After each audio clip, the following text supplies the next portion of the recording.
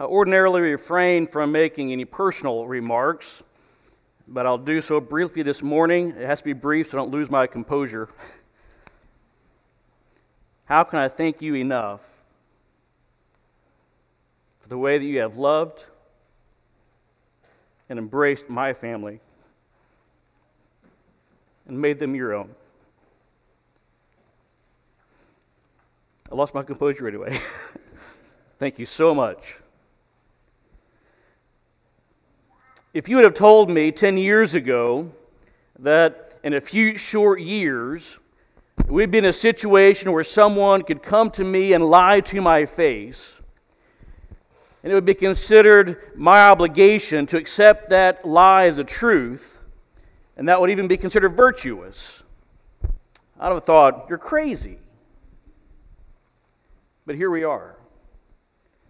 Here we are in a time where someone can come to me and if I refer to them as sir, and they say, oh, no, I'm, I'm, I'm a woman. A growing part of society says that what I should do in response is to say, oh, I'm sorry, ma'am, my mistake. One of the most objective, observable, clearly defined parts of a human being is now being referred to or tried to be turned into something that is subjective preference. That's the time in which we live. And, and I don't make light of that as I ask the next question. Instead, I use that to bring some context and, and to bring it home about how real this question should be for us. I'm going to ask next. As a Christian, is it always true that you are a Christian? Or are there times and circumstances where it might be said you really more identify as a Christian? For lack of a more sophisticated title, my lesson for this morning is Really for Real a Christian. As we bring to conclusion our studies together, we spent yesterday talking about being steadfast, immovable, abounding in a work for the Lord. This morning we wrapped that up with, with a, another set of self evaluations of our life and saying, Am I really, for real, a Christian? Is this who I am through and through all the time? Because that's what is demanded of us by God. And the first question we need to look at is Do I know where home really is? Where is really my home? We care a lot about this life. We, we just, we do. It's where we live. It's what we know. It's what's in front of what's right in front of us. It's what surrounds us. So we, we care about this life.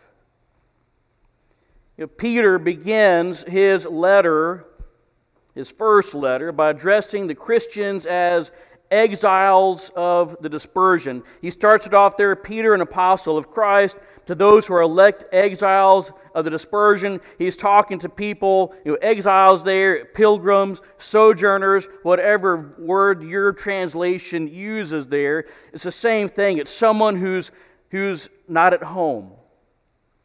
Somebody's traveling through a place, and these are people who have now come. They've learned about God and about Jesus to become Christians. They've now gone home to places that really aren't home anymore. If you travel on vacation, it, we all pack different ways. You know, some of us can take one carry on and be good, and, and others, you know who you are, have that scale and you measure it, and you're is 50, 50 and a half pounds. You got to swap shoes out to get it below that 50 pound weight. Sometimes I do that. But if we're going to travel on vacation, if we call an agent, it might be a travel agent. We're not going to call a real estate agent and say, I need to buy a house to move into for a week. We don't take a U haul with all of our possessions with us. We know that's really temporary. We're going to rent a spot, take what we need, and travel light, and that's it. We understand that. And you see where this is going. Are we living as if this is home? Or are we traveling light?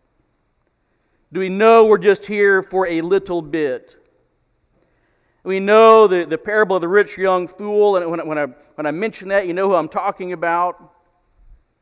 If you've been a Christian very long at all, the one who had productive crops and gathered up what he needed for many years, and, and he felt good about himself, and God said to him, He said, Fool, this night your soul is required of you, and the things you have prepared, whose will they be? We, we really sometimes focus so much on, on getting ourselves ready and comfortable here. And that was his focus in life. And the first thing that God, that Jesus says in response is, Fool. We don't identify as fools, but if we're not careful, we become them by, just, by what we prioritize and what we live for and what our focus is in this life. We know this stuff. We have to be reminded and think about it and not let it just be something that passes through our mind. It's not enough to just cognitively and mentally understand that this is what the Word says. We have to, as Christians, take that then and make that who we are.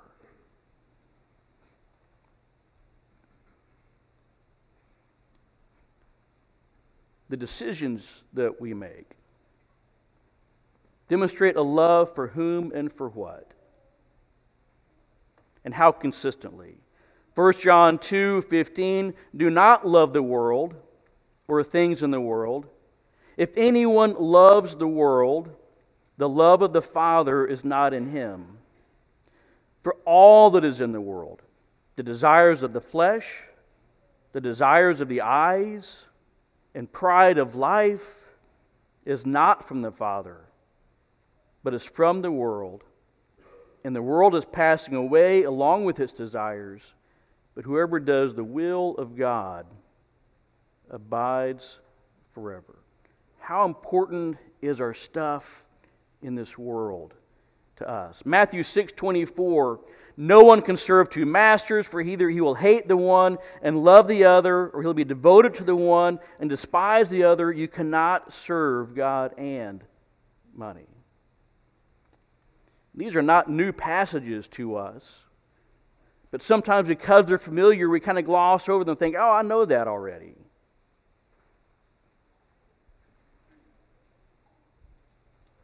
We can't do both. We can't love both. We can't stretch far enough to hang on to both at the same time. We have to let go of one to cling to the other. What are you clinging to? You know that. And love is a strong word. Let's look at one more passage. You adulterous people do not know that friendship with the world is enmity with God. Therefore, whoever wishes to be a friend of the world makes himself, makes himself an enemy of God. And friendship in that, con- in that context is talking about, just prior to it, the passions of life, the desires of the world, coveting the things of the world. And wouldn't it be fair to say that sometimes we, we want to be friends with the world? That sometimes that, that draw is there to say, well, I want to serve God, I'm a Christian, but I want to be friends with the world too. I want some of this. It won't tear us apart, but it'll tear us away from God. And it might actually do both. What I cannot do, what no one can do for you, is draw specific lines for you as to what this is going to mean in your life. But each of us have to draw those lines for ourselves. You just have to look at this and say, is this me? Is this a problem that I'm dealing with? How do I face it? What can I do in this life? And what can I do for God in particular? And how do I bring that to a place where I'm confident of looking to God and saying, I love you? Everything else doesn't matter compared to you.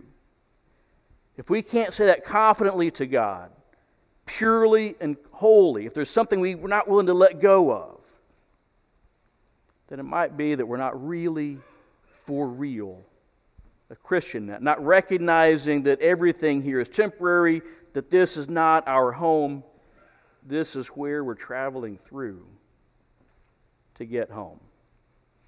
Angie and I are dog people. Uh, we have nothing against cat people. We think you're okay. Uh, but we're dog people. And we have a cute little puffball named Dexter.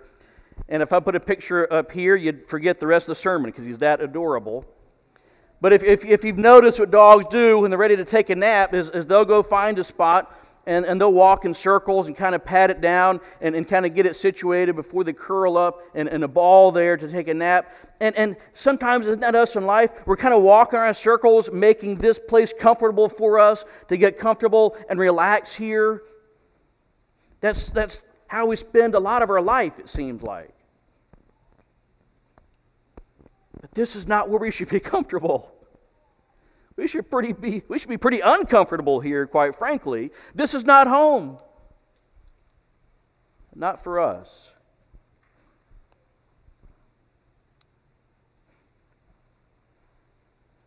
Why do we struggle with this so much?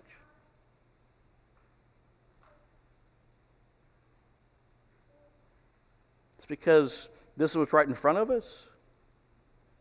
This is what's here right now. But we do.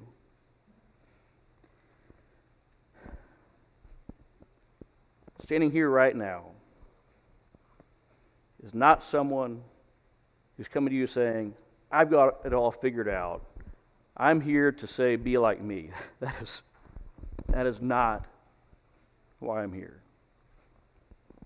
Because I'm up here kicking myself, hitting myself in the head, thinking, how can I get this through my own thick skull?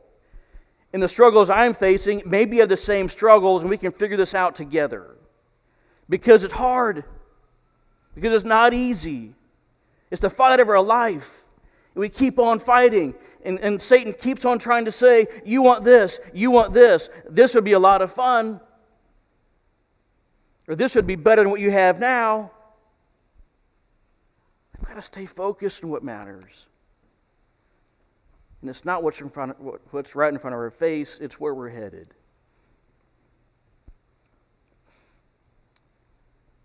Second Timothy 3, beginning in verse 2. For people will be lovers of self, lovers of money, proud, arrogant, abusive, disobedient to their parents, ungrateful, unholy, heartless, unappeasable, slanderous, without self control, brutal, not loving good, treacherous, reckless, swollen with conceit, lovers of pleasure rather than lovers of God, having the appearance of godliness but denying its power. Avoid such people. And, and some of these, we, we read through this and we think, I'm glad I'm good. I'm not ungrateful, hopefully. I'm not abusive. I'm not slanderous. I'm not brutal. I'm not treacherous. If we look at it again, how often am I a lover of self? A lover of pleasures here rather than a lover of God? And you ever, ever focused on this one much? Having the appearance of godliness, but denying its power. And make sure that it's not about having the appearance of godliness. But understand that, that power, the, the saving power of the gospel, is the same power that sustains us, in which we live and thrive and continue. We can't deny that and say that we're a Christian. I know there are many great places to live, and I would probably feel patriotic about wherever I was born and raised. But I am glad that it was here. I, I like being an American. I love being a Texan, and, and that's, that's, that's good and well. But this is not where my citizenship lies. And it couldn't be said more clearly than Philippians 3:20, our citizenship is not here. What does it say?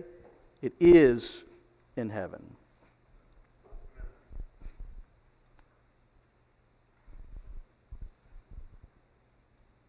While we're on the point of citizenship, I'm going to read this. It'll sound familiar to you.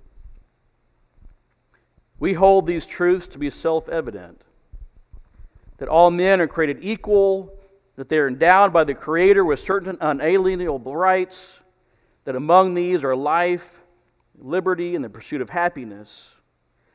This is not a quote from the Bible. There is no first Americans or, or letter to the church in Lewisville, Texas. This, this, is not to, this is not from the Bible. This, you know where this is from. What we find in the Bible is not the pursuit of happiness, but the pursuit of holiness. And sometimes we take our citizenship here and we, and we elevate what we think of as our, our society and, and how we approach the world as a culture, and we elevate that to be on par with God. And that's not to be the case. And the more I think about this, the less I care about politics, the less I get enraged about such things. And, and sure, I mean, I want to be a good, good citizen here, and I'm under the government that, that's placed here to be over us. At the same time, whoever wins the next election is not going to determine the destination of my soul.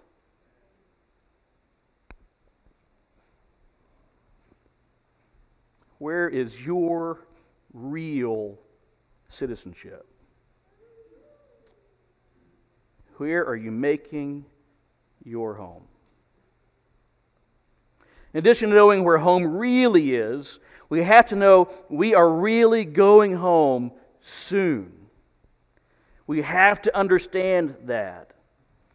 That this, that what we have here is not permanent. You know, James 4:14 says, "You are a mist that appears for a little time and then vanishes." Have this little hot pot thing that boil water at home. And you turn that thing on, and pretty quickly you have boiling water. And when that steam comes out of that, it might make that distance, you know, halfway up my cabinets or so in the kitchen before I can't see it anymore. It's, it's you know, you know, you know, what is that? Two seconds maybe, right? That's, he said that your life is like that. It's, it's nothing. It's so short. This life is so short.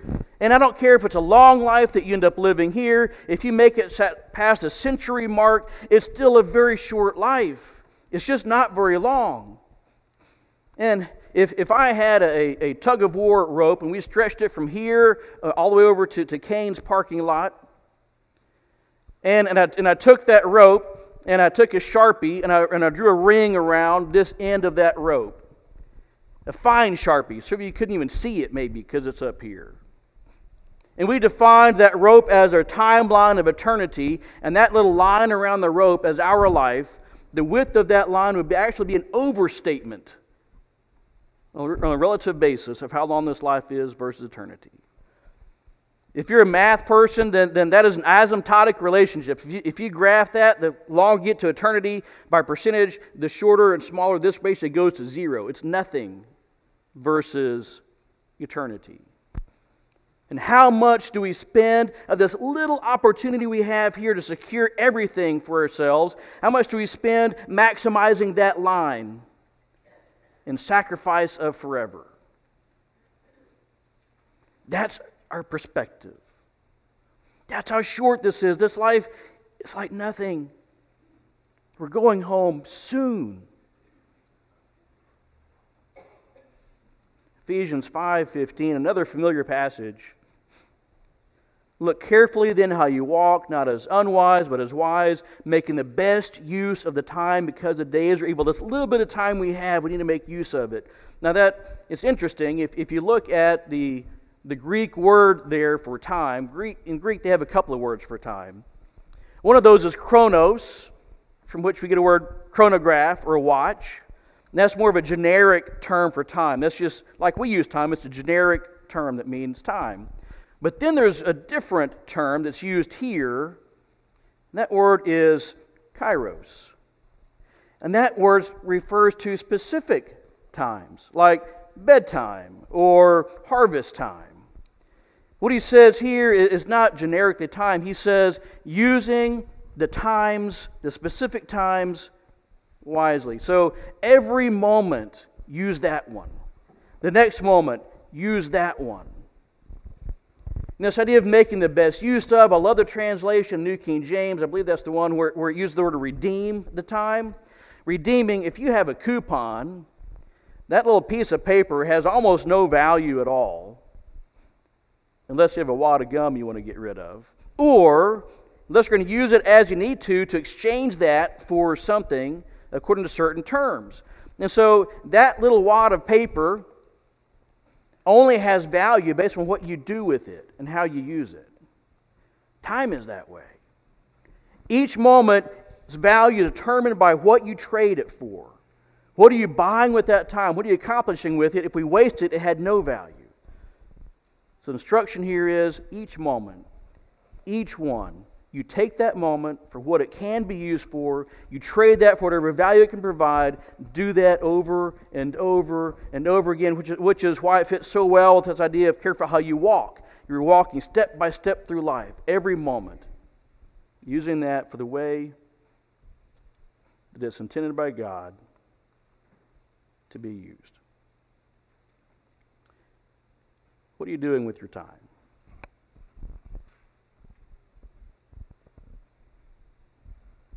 I don't often think about how much water we use at home. But when a hurricane is coming, or maybe up here when, when a, a ice storm is coming, and you think, well, I may not have water available for a period of time.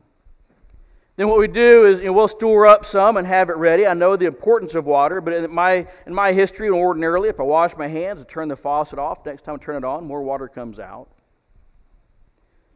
But in a situation where it's limited in supply, we start to realize okay, I need to know how I'm going to use every cup of water. I have a limited set.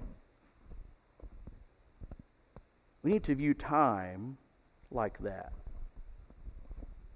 We have a limited opportunity to use it. Let's use it well and not assume there's always more coming out of the tap. What helps me think in this way sometimes is think about what am I building with with how I use my time. This limited subset versus eternity, what am I building with it? Am I building a family that loves God? Am I, feel, am building a family that, that views God as precious? Am I building my brothers and sisters in Christ? Am I building up the others around me? Hebrews 10 24, let us consider how to stir up one another to love and good works, not neglecting to meet together as the habit of some is, but encourage one another and all the more as you see the day drawing near. The day is drawing near. This is, we don't have a long time. We see the day drawing near. Our life is short. And, and, as we see the day drawing near, we're supposed to be encouraging one another to use their time effectively. And, and he says, as part of that, don't neglect being together as the habit of some is.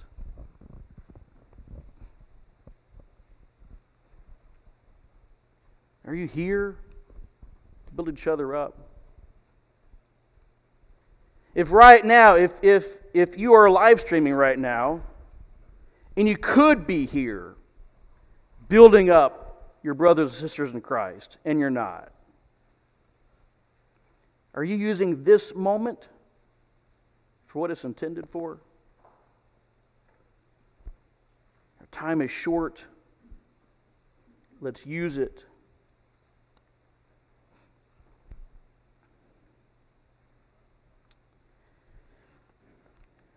if you could know,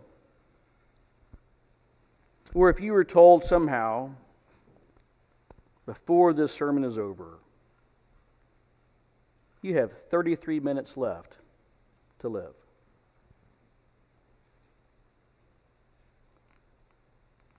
How differently would you sing the next song?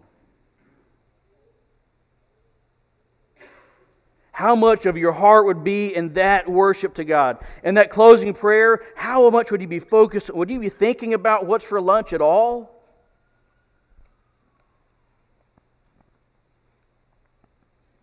What would you wish you would have already done but didn't do?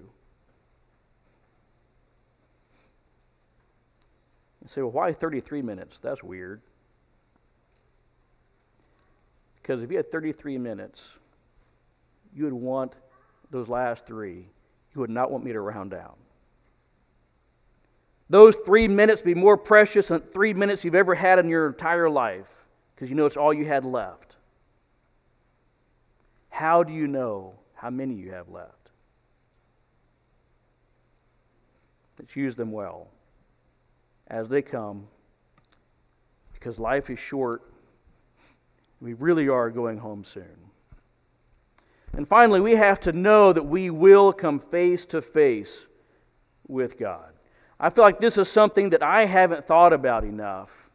And as I have, it's, it's been impactful we, every one of us, will have this moment. Think about incredible moments of life. You think about a birthday of your first child. You think of the day that you became a Christian. You think of your wedding day. You think, I mean, all these things we think of, wow, that was a special occasion in life. There will be no more important or pivotal moment in our existence I'm convinced of this, than that moment by ourselves, we're in front of God.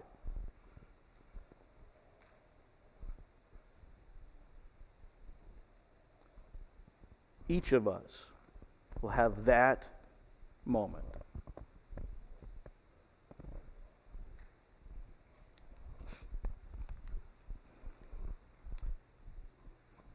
Every knee shall bow to me, every tongue shall confess to God.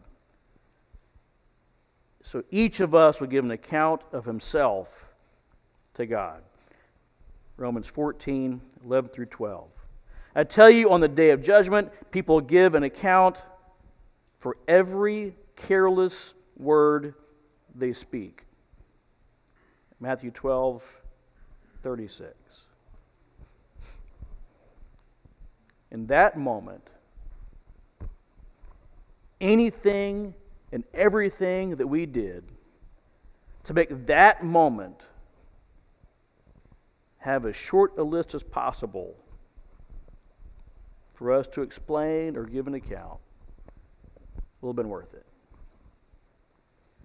In that moment, the only regrets we're going to have are the things that affect that moment.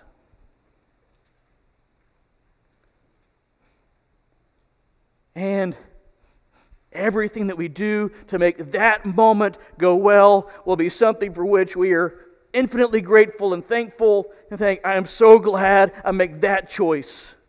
I'm so glad I made that sacrifice. I'm so glad I made that a priority. I'm so thankful at this moment that I realized what mattered and what didn't.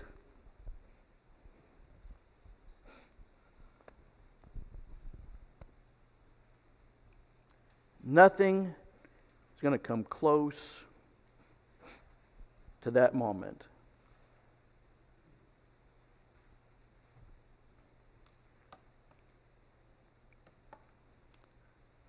We're going to do an exercise here. This is very dangerous. Because any preacher will probably say, never tell them to close their eyes. I'm going to ask you to close your eyes in just a second. There will be a time when I ask you to open them again, and we will know if you fell asleep because you'll still have your eyes shut, and I'll be looking. So close your eyes. In your mind, I want you to have a blank canvas. You are now an artist. I want you to paint a picture in your mind of what the world would paint as a picture of success in your life. If you had the world's definition of success to the greatest degree you think might be possible within your existence, paint that picture in your mind. I'll give you a moment. I'm a poor artist, so it takes me a while, so I understand.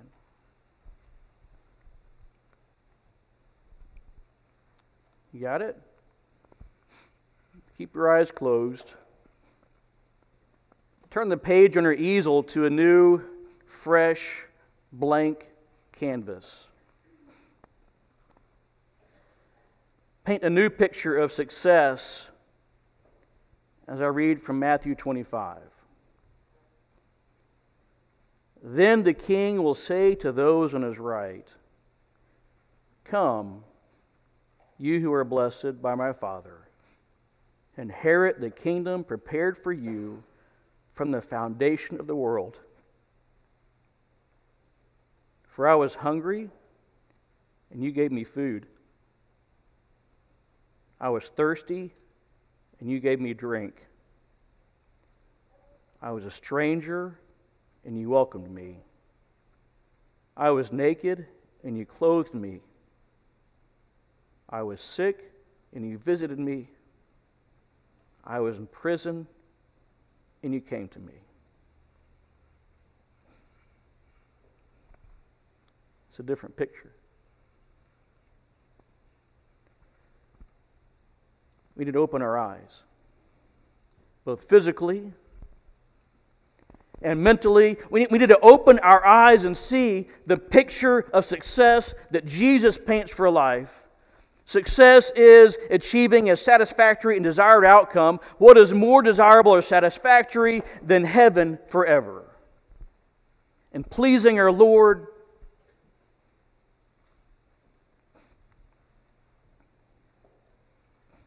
What picture of success are you painting with your life?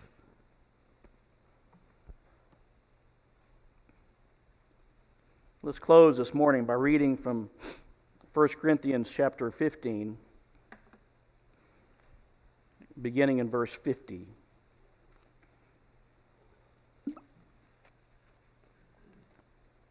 I tell you this, brothers. Flesh and blood cannot inherit the kingdom of God, nor does the perishable inherit the imperishable. Behold, I tell you a mystery. We shall not all sleep, but we shall all be changed. In a moment, in the twinkling of an eye, at the last trumpet. For the trumpet will sound, and the dead will be raised imperishable and we shall be changed. For this perishable body must put on the imperishable, and this mortal body must put on immortality. When the perishable puts on the imperishable, and the mortal puts on immortality, then shall it come to pass the saying that is written, and I should probably yell this Death is swallowed up in victory. O death, where is your victory? O death, where is your sting? The sting of death is sin, and the power of sin is the law. But thanks be to God who gives us victory through, Jesus, through Lord Jesus Christ. Therefore, my beloved brothers, be steadfast, immovable always abounding in the work of the Lord, knowing in the Lord your labor is not in vain. It might be that you're not a Christian.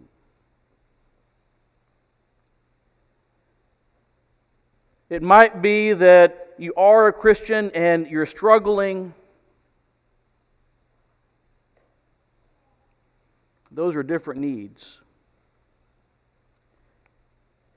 And we're going to sing a song here in just a moment. We call it the invitation song because we are inviting you, whatever your need is, to let us know so we can help you. If, if you're not a Christian and, and you're thinking, I want to live a life that's purposeful the way that God defines it. I want to know how to please the God who made me and have a life of meaning. I want to start that right now. We can help you become God's child by showing you the way. And if you're ready for that, to baptize you, you can start over today. If you are a Christian and you're struggling and you think, I've, I need prayers or I want help or I just, I just need to let you know that I need your forgiveness for things I've done that are wrong people, I need to make that right. This is not a time to be shamed or embarrassed, but to realize that you're surrounded by people who love you and want to embrace you and want to help you.